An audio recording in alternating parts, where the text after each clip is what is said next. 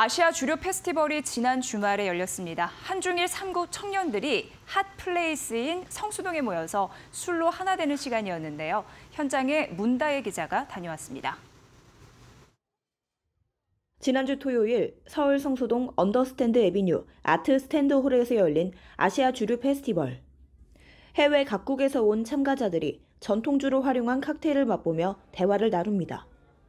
소주와 백주, 사케 등 한중일 3국의 전통주를 활용한 색다른 칵테일입니다.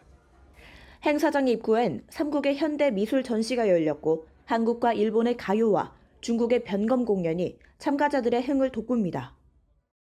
이번 행사는 한중일 문화 교류를 위해 열린 주류 페스티벌로 우애를 위한 건배라는 슬로건으로 열렸습니다.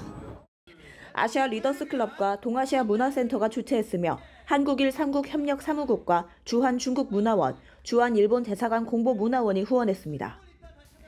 다양한 국가에서 온 해외 참가자들은 한중일 3국의 화합의장이 이색적이라고 평가했습니다.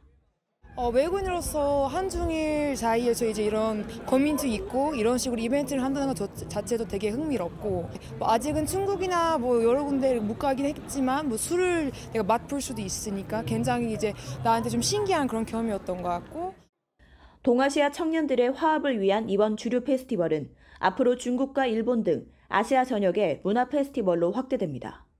술이라는 것이 또 사람과 문화와 또 미래를 연결해주는 매개체라고 생각을 하기 때문에 예, 술과 문화 또 스토리를 통해서 앞으로 우리 아, 한중일의 미래 또 동아시아를 찾아 아, 살아가는 젊은이들이 어, 같이 우애를 다지고 각자의 국경을 넘어서 또 서로의 공유하는 문화를 찾고 이런 어, 좋은 기회를 만들어 보자는 취지에서 동아시아 문화센터는 한국 술의 정과, 일본 술의 배려, 중국 술의 여유 등 각기 다른 매력을 가진 3국의 술을 세계 시장에 알리는 데 기여한다는 계획입니다.